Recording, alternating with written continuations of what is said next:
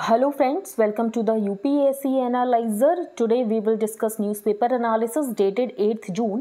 यहाँ पर first news है government widen C D S selection pool retired serving three star officers now also eligible अब यहाँ पर सी डी एस के रिगार्डिंग रूल्स को अमेंड किया गया है तो रूल्स में क्या चेंजेस किए गए हैं वो हम यहाँ पर डिस्कस कर लेते हैं the amended rules of the armed forces making all serving and recently retired three star officers Lieutenant General, Air Marshal and Vice Admiral under the age of 62 eligible for the post of CDS. तो यहाँ पर CDS post के लिए age को cap कर दिया गया है 62 ईयर्स और यहाँ पर जो सर्विंग और recently retired three star officers हैं वो यहाँ पर एलिजिबल हैं फॉर द CDS पोस्ट अब इसकी वजह से एक प्रॉब्लम ये है this can be tricky given that the chiefs who are four star officers तो यहाँ पर for example army chief four star official होते हैं और अगर सी डी एस यहाँ पर थ्री स्टार ऑफिसर होंगे तो इसकी वजह से जो यहाँ पर फोर स्टार ऑफिसर होंगे, उनको यहाँ पर रिपोर्ट करना पड़ेगा to a retired three star officer अगर वो यहाँ पर सी डी एस बन जाते हैं। तो new rules widen the C D S appointment pool लेकिन एक ट्रिकी प्रॉब्लम ये हो गई है but this can be tricky given that the chiefs who are four star officers तो यहाँ पर जो चीफ्स होते हैं, वो यहाँ पर फोर स्टार ऑफिसर्स होते हैं, लेकिन यहाँ पर सी डी एस की पोस्ट के लिए थ्री स्टार्स ऑफिसर भी एलिजिबल होंगे, जिसकी वजह से यहाँ पर फोर स्टार्स ऑफिसर्स को रिपोर्ट करना पड़ेगा to the three star officer अब हम नेक्स्ट न्यूज़ पर चलते हैं। यहाँ पर हम कुछ और डिस्कस कर लेते हैं regarding C D S according to the new rules all three star and four star officers from the three services including those who retired in the last two years तो यहाँ पर जो रिसेंटली रिटायर्ड की बात की गई है, उसमें यहाँ पर टाइम फ्रेम लिया गया है पिछले दो सालों का। The government however has put an age limit of 62 तो यहाँ पर एज लिमिट लगा दी गई है 62 ईयर्स की और यहाँ पर सर्विस चीफ्स रिटायर होते हैं एट द एज ऑफ़ 62 तो इसका मतलब ये है जो थ्री सर्विस चीफ्स यहाँ पर रिटायर हुए हैं, वो एलिजिबल नहीं होंगे for the C D S post तो the three service chiefs who retired in quick succession since September twenty are ruled out क्योंकि यहाँ पर एज कैप लगा दी गई है सिक्सटी टू ईयर्स की the notification said the government में extend the service of the C और यहाँ पर जो सी का टाइम पीरियड है, वो मैक्सिमम एज ऑफ़ सिक्सटी तक एक्सटेंड किया जा सकता है। The mandate of the C D S as the primary military adviser to the government तो यहाँ पर सी डी एस का प्राइमरी मैंडेट ये है कि प्राइमरी मिलिट्री एडवाइसर होते हैं टू द गवर्नमेंट इसके अलावा एक डुअल रोल ये भी है। C D S was also appointed as secretary of the department of military affairs तो डिपार्टमेंट ऑफ़ मिलिट्री अफेयर्स के secretary and the first primary जो मैंडेट है वो ये है primary military adviser to the government तो यहाँ हमने रिगार्डिंग सी डी एस जो रूल्स अमेंड हुए हैं वो हमने डिस्कस कर लिए। अब हम नेक्स्ट न्यूज़ पर चलते हैं। New tour of duty for recruitment likely today यहाँ पर टूर ऑफ़ ड्यूटी सिस्टम की बात की गई है। तो under the new tour of duty system likely to be named Agnipath soldiers और अग्निवीर तो यहाँ पर रिक्रूट किया जाएगा सोल्जर्स को for a period of four years और फोर ईयर्स के लिए यहाँ पर रिक्रूट किया जाएगा। And at the end of which they will get over rupees ten lakh tax free and certificates और डिप्लोमास फॉर दियर सर्विस तो यहाँ पर at the end of services ten lakh tax free and certificates और diplomas for the service अब इसकी वजह से पैंतालीस पचास हज़ार पर्सनल को यहाँ पर रिक्रूट किया जाएगा। अब इससे गवर्नमेंट को क्या फ़ायदा है? तो गवर्नमेंट को ये फ़ायदा है कि गवर्नमेंट का जो रेवेन्यू एक्सपेंडिचर हो रहा है डिफेंस में, वो यहाँ पर गवर्नमेंट का कम हो जाएगा। तो for the government a key advantage would be savings in pension it had allocated nearly rupees one point two lakh crore for pension to the defence ministry लेकिन अगर यहाँ पर सिर्फ़ फोर ईयर्स के पीरियड के लिए ही यहाँ पर रिक्रूट किया जाएगा तो उसकी वजह से जो पेंशन है वो नहीं देनी पड़ेगी और इतना ज़्यादा यहाँ पर गवर्नमेंट का रेवेन्यू एक्सपेंडिचर नहीं होगा। So the comparison of cost incurred by the government for one soldier under the existing and proposed systems would lead to a lifetime savings of rupees 11.5 crore अब यहाँ पर एलिजिबिलिटी क्या होगी? तो कैंडिडेट्स जो भी यहाँ पर एज में है of 17 and half years and 21 years will be eligible to apply the recruits will undergo training for six months और यहाँ पर रिमेनिंग पीरियड के लिए सर्व करेंगे. करंटली जो सोल्जर है, वो यहाँ पर सर्व करता है for nearly seventeen to twenty years अब न्यू स्कीम में यहाँ पर सैलरी दी जाएगी थर्टी थाउज़ेंड जो कि फोर्टी थाउज़ेंड तक हो जाएगी by the end of the fourth year लेकिन इसमें से थर्टी परसेंट जो सैलरी है, वो यहाँ पर हेल्ड बैक कर ली जाएगी और उसको यहाँ पर इन्वेस्ट कर दिया जाएगा अंडर द सेवा निधि स्कीम तो यहाँ पर जो थर्टी परसेंट सैलरी यहाँ पर कॉन्ट्रीब्यूट की जाएगी गवर्नमेंट भी इक्वल अमाउंट कॉन्ट्रीब्यूट करेगी. The total amount between rupees ten lakh to rupees twelve lakh will be given to the soldier at the end of four years तो यहाँ पर आपको ये सेवा निधि स्कीम पता होनी चाहिए, जिसमें यहाँ पर थर्टी परसेंट कॉन्ट्रीब्यूट किया जाएगा from the salary of the soldier और यहाँ पर गवर्नमेंट भी इक्वल को कॉन्ट्रीब्यूट करेगी.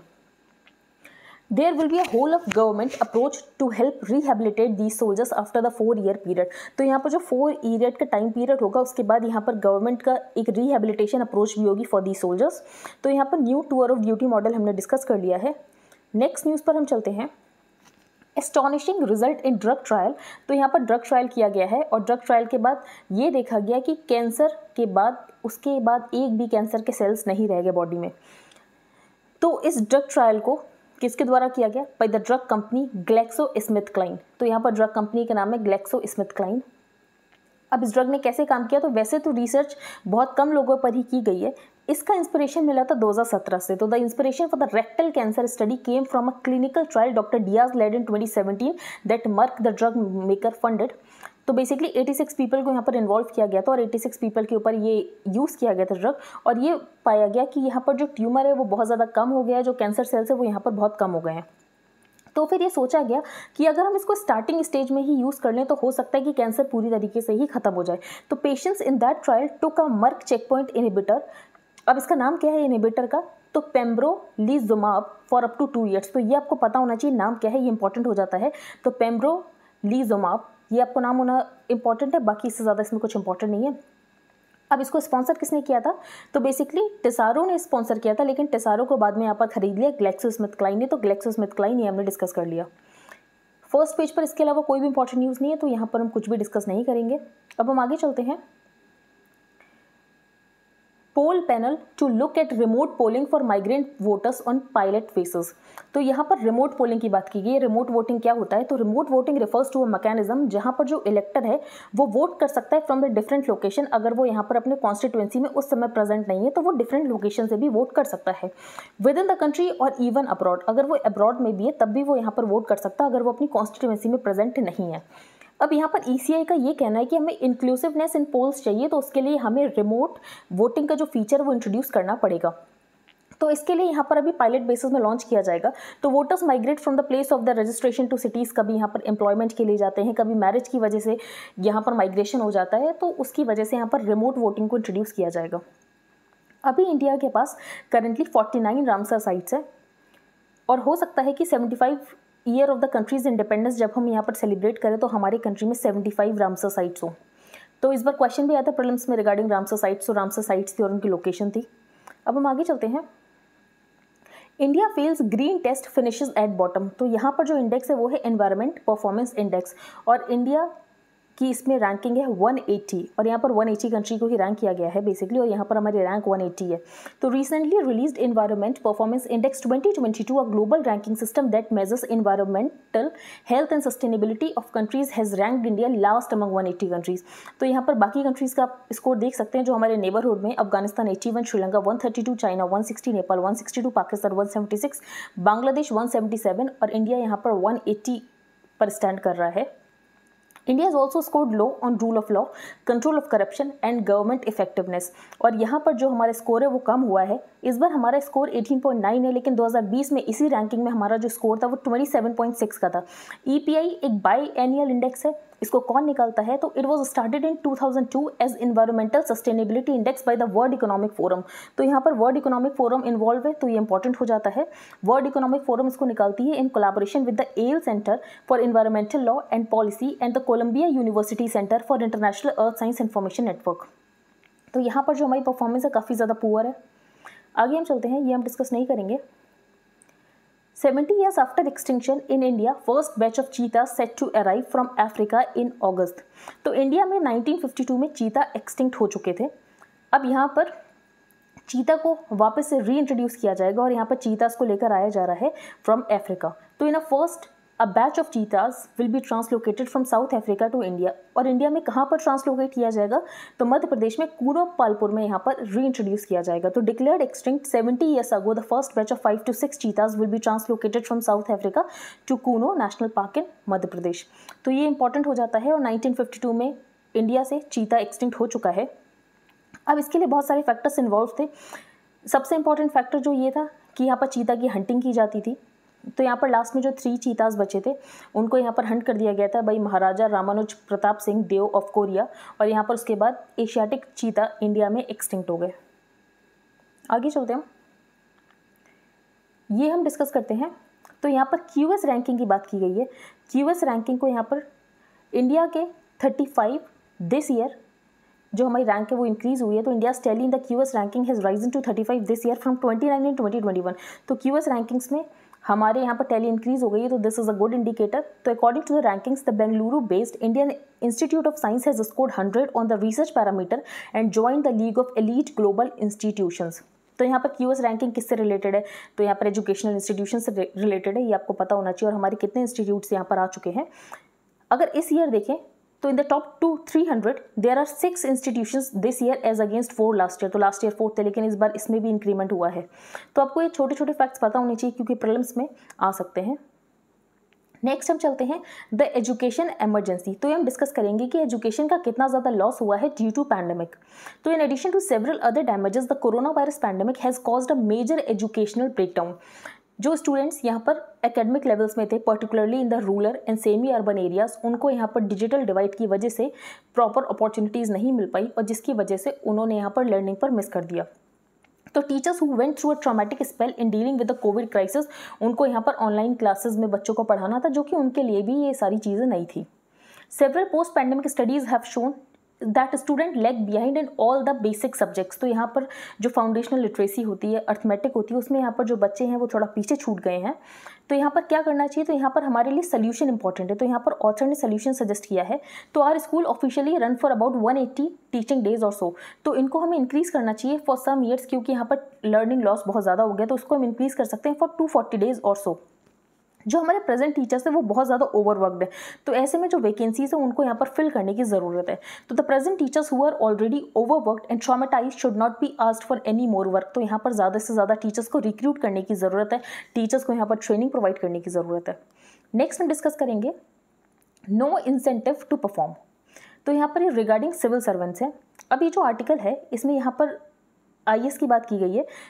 तो most countries in the world have a cadre of professional civil servants but nowhere a new entrance to the system of government celebrated like India तो for example U P UPSC का result आता तो आपने देखा कि कैसे celebrate किया जाता है। It's like the public itself hasn't overcome the colonial legacy of the civil service service being the grandest of profession तो यहाँ पर अभी तक ऑथर का ये कहना है कि वही कॉलोनियल लेगेसी चलती आ रही है कि ये माना जाता है जो सिविल सर्वेंट्स है, वो सबसे ऊपर वाला प्रोफेशन है सिविल सर्वेंट्स का। The fact is that seventy five years after independence तो पिछहत्तर साल इंडिपेंडेंस के बाद और तीस साल लिबरलाइजेशन के बाद भी, अभी भी हम देखें तो सिविल सर्वेंट्स जो होते हैं, वो बहुत ज़्यादा all powerful all pervasive state वाला हमारे अंदर अभी भी ओवर हैंग वही है। तो fact also is that despite grumbling and complaining about the difficulty of dealing with the government the people of India put on the highest pedestal the very personnel responsible for it अब dissatisfaction अगर होता है लोगों को तो लोग क्या करते हैं? लोग अपने यहाँ पर पॉलिटिकल जो भी इलेक्ट करके भेजते हैं, लोग उनको चेंज कर देते हैं। लेकिन लोग यहाँ पर ब्यूरोक्रेसी को चेंज नहीं कर सकते हैं, क्योंकि जो ब्यूरोक्रेसी परमानेंट ब्यूरोक्रेसी होती है सिविल सर्वेंट्स की, वो यहाँ पर वो चेंज नहीं कर सकती क्योंकि वो यहाँ पर एक एग्ज़ाम क्वालिफाई करके आते हैं। तो interestingly most ordinary people do not aspire for themselves और their children to join politics लेकिन उनके पेरेंट्स ये चाहते हैं कि हमारा बच्चा यहाँ पर सिविल सर्विस को ज्वाइन करे। लेकिन वो बहुत सारे पेरेंट्स ऐसे होते हैं जो नहीं चाहते कि उनका बच्चा यहाँ पर पॉलिटिक्स को ज्वाइन करे। But the civil servants are highly aspirational then there is the job security that comes with gaining entry तो यहाँ पर अगर कुछ गलती भी हो जाती है तो बेसिकली ट्रांसफ़र कर दिया जाता है। पनिशमेंट पोस्टिंग कर दी जाती है, लेकिन यहाँ पर सर्विसेज़ से dismiss in the rarest of the rare case में किया जाता है। तो unless a civil servant does an extraordinary wrong she has a job for life and steady time bound promotions तो बेसिकली यहाँ पर ऑथर ने सबसे पहला पॉइंट ये उठाया है कि अकाउंटेबिलिटी की बहुत ज़्यादा कमी है, क्योंकि यहाँ पर सिविल सर्वेंट को भी पता है कि उसको यहाँ पर डिसमिस नहीं किया जाएगा, जिसकी वजह से उसकी अकाउंटेबिलिटी नहीं होती है। The single UPSC examination which most candidates take in their early और twenties is treated as gospel often it is use as an argument against lateral entry because unless people have pass the examination अब यहाँ पर author ने ये बताया point दूसरा कि आपने एक एग्ज़ाम को बेसिस बना दिया गया है कि इस एग्ज़ाम को अगर आप क्लियर करोगे, तभी आप यहाँ पर मेरिटोरियस हो। अगर आप इस एग्ज़ाम को क्लियर नहीं कर सकते तो आप यहाँ पर मेरिटोरियस नहीं हो। तो ऑथर ने बताया कि सिर्फ़ आप एक पैरामीटर के ऊपर डिसाइड नहीं कर सकते कि कोई कैंडिडेट यहाँ पर मेरिटोरियस है या नहीं है। तो merit and competence can't be judged by a single exam इसके अलावा जो परमानेंस जॉब की, वो भी प्रॉब्लम है कि आपको यहाँ पर डिस्कस नहीं किया जा सकता। तो पनिशमेंट फॉर ओवर रीच और misuse of power is a transfer तो यहाँ पर ज़्यादा से ज़्यादा ट्रांसफ़र किया जाता है, लेकिन यहाँ पर डिसमिस नहीं किया जाता है और डिसमिस यहाँ पर rarest of the rare cases में किया जाता है। तो ये कुछ प्रॉब्लम्स है तो यहाँ पर अकाउंटेबिलिटी को इंक्रीज करने की ज़रूरत है। उसके बाद ही यहाँ पर जो सिविल सर्वेंट्स है, वो यहाँ पर रिस्पॉन्सिबल हो सकते हैं अकाउंटेबल हो सकते हैं। तो ये बताया गया इस आर्टिकल में, यहाँ पर कोई इंपॉर्टेंट आर्टिकल नहीं है तो हम डिस्कस नहीं करेंगे। Museum was built so no one would forget now it's falling apart तो यहाँ पर मॉन्यूमेंट ऑफ़ हीरोज़ की बात की गई है। तो फॉर एग्ज़ाम्पल प्रॉब्लम्स में आपने क्वेश्चन देखा होगा कि यहाँ पर बहुत सारे कंट्रीज़ थे कि ये जो कंट्रीज़ है, ये यहाँ पर न्यूज़ में थे, नहीं थे, किस पर्पज़ से थे तो ये हमें इंपॉर्टेंट हो जाता है। तो अब हम डिस्कस कर लेते हैं क्योंकि इस बार प्रिलिम्स का पैटर्न थोड़ा चेंज हुआ है। तो monument of heroes is one of the few places in the Philippines dedicated to preserving the bitter memory of Marcos regime तो यहाँ पर ये कहाँ पर है? तो ये आपको पता होना चाहिए मॉन्यूमेंट ऑफ़ हीरोज की लोकेशन फिलीपींस में है और किसको डेडिकेट किया जाता है? To preserving the better memory of Marcos regime और इस कंट्री ने कितना ज़्यादा यहाँ पर फाइट किया फॉर द डेमोक्रेसी और कितना ज़्यादा सेक्रीफाइसेस किए गए फॉर द डेमोक्रेसी लेकिन ये जो बिल्डिंग है डैमेज हो गई है। क्यों डैमेज हो गई है? क्योंकि 2022 में यहाँ पर एक टाइफून आया था, जिसकी वजह से ये जो बिल्डिंग है डैमेज हो गई है मॉन्यूमेंट ऑफ़ हीरोज और ये यहाँ पर फिलीपींस में लोकेटेड है। यहाँ पर सिंगल नोडल एजेंसी की बात की गई है तो सिंगल नोडल एजेंसी डैशबोर्ड यहाँ पर लॉन्च किया गया है। अब सिंगल नोडल एजेंसी डैशबोर्ड में किस चीज़ को ट्रैक किया जाएगा? तो बेसिकली जो भी ट्रांसफ़र किया जाता है funds to state for centrally sponsored schemes या फंड्स को यहाँ पर किया जाता है बाई सेंट्रल एजेंसीज तो उसको यहाँ पर ट्रैक करने के लिए ये बनाया गया है सिंगल नोडल एजेंसी तो सिंगल नोडल एजेंसी जो डैशबोर्ड है वो है पब्लिक फाइनेंशियल मैनेजमेंट सिस्टम का. इसके अलावा एक दूसरे सिस्टम की भी बात की गई है जो कि है ट्रेजरी सिंगल अकाउंट सिस्टम और ट्रेजरी सिंगल अकाउंट सिस्टम किसके लिए? तो this is mainly for autonomous bodies जैसे कि ICAR तो आपको ये पता होना चाहिए एस एन ए डैशबोर्ड किसके अंडर आता है? तो पी एफ़ एम एस के अंडर आता है। क्या करेगा? तो बेसिकली यहाँ पर जो भी फंड्स दिए जाते हैं तो उसको यहाँ पर ट्रैक करने का काम करेगा, जिसकी वजह से यहाँ पर ट्रांसपेरेंसी को इंश्योर किया जाएगा। नेक्स्ट हम डिस्कस करते हैं, मेला खीर भवानी। तो कश्मीरी हिंदूज मेनली इसको सेलिब्रेट करते हैं। Jyeshtha Ashtami at the Mata Kheer Bhawani temple at Tulmulla in central Kashmir Ganderbal Jyeshtha Ashtami at the Mata Kheer Bhawani temple और ये किस गॉडेस को डेडिकेट किया जाता है टेंपल तो it is dedicated to the goddess Ragnya Devi अब legend का ऐसा मानना है कि जो वाटर है, वो अपना कलर चेंज करता है तो उससे ये पता चलता है कि फ्यूचर कैसा होने वाला है। For example the colour of the water is set to predict the impending future तो अगर कलर यहाँ पर व्हाइट से रेड भी हो सकता है ब्लैक भी हो सकता है। और अगर यहाँ पर कलर ब्लैक में चेंज हो जाता है तो इसका मतलब ये है कि इन इनऑस्पिशियस है और यहाँ पर आने वाले टाइम में डिजास्टर आने वाला है। तो इंपॉर्टेंट ये है कि इस टेंपल की लोकेशन आपको पता होनी चाहिए। ये टेंपल कौन से गॉडेस को डेडिकेटेड है, ये आपको पता होना चाहिए। नेक्स्ट हम डिस्कस करते हैं इलेक्टिंग राज्यसभा एम तो यहाँ पर राज्यसभा एम को कैसे इलेक्ट किया जाता है? तो राज्यसभा और द काउंसिल ऑफ़ स्टेट्स में 245 सीट है। लीव असाइड अभी तक यहाँ पर कोई भी रूलिंग पार्टी जो है हंड्रेड के मार्क को टच नहीं कर पाई है, लेकिन बीजेपी ने टच किया था। हंड्रेड इन अप्रैल लेकिन बाद में यहाँ पर नाइन्टी फाइव हो गया, क्योंकि यहाँ पर कुछ मेंबर्स जो थे, वो यहाँ पर रिटायर हो गए। Rajya Sabha has a limited role in the case of money bills तो मनी बिल्स के रिगार्डिंग राज्यसभा के पास ज़्यादा पावर्स नहीं होती। राज्यसभा यहाँ पर सिर्फ़ रिकमेंड कर सकता है चेंजेस को। चेंजेस को एक्सेप्ट करना है, नहीं करना है, वो यहाँ पर लोकसभा डिसाइड करेगा। तो यहाँ पर मनी बिल्स को लेकर राज्यसभा के पास पावर नहीं होती है। मोस्टली यहाँ पर मनी बिल्स को लेकर सारी पावर्स यहाँ पर लोकसभा के पास होती हैं। अब राज्यसभा एक परमानेंट हाउस है। राज्यसभा डिजॉल्व नहीं होता है। तो जैसे लोकसभा पाँच साल में डिजॉल्व होता है, राज्यसभा डिजॉल्व नहीं होता है। कंटिन्यूटी इंश्योर करने के लिए क्या होता है? जो वन थर्ड मेंबर्स है, वो हर दूसरे साल रिटायर होते हैं। फिर article 83 clause one of the constitution में बाई एनुअल इलेक्शन कराए जाते हैं टू फिल दीज वैकेंसीज और जो टर्म होता है मेंबर का राज्यसभा में, वो होता है छः सालों का। 245 मेंबर में से जो 12 मेंबर्स है, वो यहाँ पर नॉमिनेटेड होते हैं बाई द प्रेसिडेंट और 233 यहाँ पर रिप्रेजेंटेटिव्स होते हैं of the states and UTs of Delhi and Puducherry इसके अलावा जो वैकेंसीज अराइज होती हैं फॉर एग्ज़ाम्पल यहाँ पर किसी मेंबर ने रेजिग्नेशन दे दिया या किसी मेंबर की डेथ हो गई या डिसक्वालीफाई हो गया तो वहाँ पर जो बाईपोल्स होंगे, उसमें जो मेंबर्स इलेक्ट होकर आएँगे, वो सिर्फ़ यहाँ पर प्रेडेसेसर के रिमाइंडर टर्म के लिए सर्व करेंगे। फॉर एग्ज़ाम्पल यहाँ पर दो साल किसी ने सर्व किया, उसके बाद वो अगर डिसक्वालीफाई हो जाता है और उसके बाद यहाँ पर बाईपोल्स होते हैं तो यहाँ पर जो नेक्स्ट मेंबर बन के आएगा, वो यहाँ पर सिर्फ़ तीन सालों के लिए ही सर्व करेगा। तो बेसिकली चार सालों के लिए सर्व करेगा, क्योंकि सिक्स ईयर का टाइम पीरियड होता है। तो यहाँ पर जो टाइम पीरियड बचा है, सिर्फ़ उतने के लिए सर्व किया जाएगा। ये एक इंपॉर्टेंट पॉइंट हो जाता है। तो vacancies arising due to resignation death और disqualification are filled up through by post and those elected serve out the remainder of the predecessor system अब यहाँ पर जो बारह मेंबर्स नॉमिनेट किए जाते हैं तो वो प्रेसिडेंट कहाँ से नॉमिनेट करते हैं?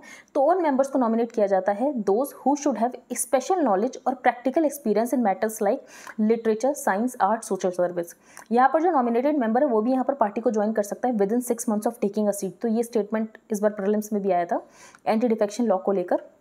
हु वोट्स एंड हाउ तो राज्यसभा एम को कैसे इलेक्ट किया जाता है? तो बेसिकली जो एम होते हैं, उस स्टेट के, वो यहाँ पर इलेक्ट करते हैं थ्रू एन इनडायरेक्ट इलेक्शन और ये जो इलेक्शन होता है, ये होता है through a system of proportional representation by means of a single transferable vote fourth schedule of the constitution किससे डील करता है? तो fourth schedule of the constitution यहाँ पर डील करता है for allocation of Rajya Sabha seats to the states and UTs तो यहाँ पर पॉपुलेशन के बेसिस पे सीट्स एलोकेट की जाती है तो फोर्थ शेड्यूल जो है कॉन्स्टिट्यूशन का वो इससे ही डील करता है allocation of the seats to the Rajya Sabha ये क्वेश्चन भी प्रिलिम्स में पहले आ चुका है। इस बार भी यहाँ पर फिफ्थ शेड्यूल से लेकर क्वेश्चन आया था तो शेड्यूल्स इंपॉर्टेंट हो जाते हैं। फिर यहाँ पर यह बताया गया है कि कैसे इलेक्ट किया जाता है, ये ऐसा इतना ज़्यादा इंपॉर्टेंट नहीं है। अब beyond passing bills why do Rajya Sabha numbers matter अब राज्यसभा के नंबर्स इसीलिए मैटर करते हैं क्योंकि अगर आपको यहाँ पर कोई ऑल इंडिया सर्विस बनानी है तो उसको लेकर यहाँ पर राज्यसभा ही रिजोल्यूशन पास कर सकता है। या आपको किसी स्टेट लिस्ट के ऊपर मैटर बनाना है तो राज्यसभा के पास भी यहाँ पर पावर होती है कि वो यहाँ पर पार्लियामेंट को पावर दे सके कि पार्लियामेंट यहाँ पर किसी स्टेट लिस्ट के स्टेट लिस्ट के सब्जेक्ट पर यहाँ पर पार्लियामेंट लॉ बना सके। तो Rajya Sabha enjoy some special powers if it passes a resolution by majority of not less than two third of the members present in voting और यहाँ पर राज्यसभा ये बता दे कि ये नेसेसरी है कि नेशनल इंटरेस्ट में कि पार्लियामेंट इस स्टेट लिस्ट के सब्जेक्ट के ऊपर लॉ बनाए तो यहाँ पर पार्लियामेंट के पास पावर आ जाती है कि पार्लियामेंट स्टेट लिस्ट के मैटर के ऊपर यहाँ पर लॉ बना सकता है। सिमिलर रूट यहाँ पर ऑल इंडिया सर्विसेज़ के लिए बताया गया है कि जो ऑल इंडिया सर्विसेज़ को अगर क्रिएट करना है तो उसके लिए राज्यसभा से ही रिजोल्यूशन पास होता है। Under certain circumstances for example यहाँ पर इमरजेंसी लगानी है, लेकिन अगर लोकसभा डिजोल्व है तो ऐसे में in the meanwhile Rajya Sabha ही उस रेजोल्यूशन को पास करता है इमरजेंसी को लेकर। Then the proclamation remains effective if the resolution approving it is pass by Rajya Sabha within the period specified under article three fifty two three fifty six and three sixty of the constitution next हम discuss करते हैं the multiple launch rocket systems UK and US are sending to Ukraine तो यहाँ पर important हो जाता है HIMARS HIMARS जो है यूएस दे रहा है यूक्रेन को. तो high altitude artillery rocket system the HIMARS is a weapon system on a build platform और इसमें हाई डिग्री ऑफ़ मोबिलिटी तो हिमार्स किसका ये आपको पता होना चाहिए यूएस का सिस्टम है जो कि यूएस यहाँ पर यूक्रेन को दे रहा है. Kolkata centuries before Job Charnock what newly excavated find tells us अब रीसेंट आर्कोलॉजिकल एक्सिवेशन जो कि डमडम में हुए हैं, उससे ये पता चला है, जो कोलकाता की बात की जाती है कि कोलकाता को यहाँ पर जॉब चारनॉक ने फाउंड किया है, ऐसा बिल्कुल भी नहीं और कोलकाता बहुत पहले से एग्जिस्ट करता था।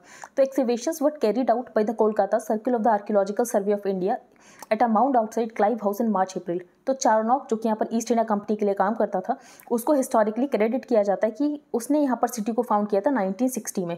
तो Calcutta comprise Kalikata, Gobindapur and Sutanuti villages which the British bought from local landlords लेकिन अगर हम देखें तो हमें ये पता चलता है कि जो कैलकाटा है, वो बहुत पहले से यहाँ पर एग्जिस्ट करता था। और उसका हमें मेंशन भी मिलता है। For example the site is mentioned in Bipradas Piplai Manasa, Mangala and Abul Fazl's Ain-i Akbari. तो यहाँ पर जो एम्पर जहांगीर थे, उन्होंने यहाँ पर ग्रैंड की थी जागीरदारी ऑफ़ कालिकता टू अ जमींदार फैमिली। तो इसका मतलब ये है कि ब्रिटिशर से पहले भी यहाँ पर जो कैलकाटा है, वो यहाँ पर था और यहाँ पर जॉब चारनॉक ने यहाँ पर कैलकाटा को फाउंड नहीं किया है। तो यहाँ पर हिस्ट्री में कुछ चेंजेस होंगे। तो आई होप आपको आज का न्यूज़पेपर समझ आ गया है। If you like the video then please like share and subscribe thank you and have a nice day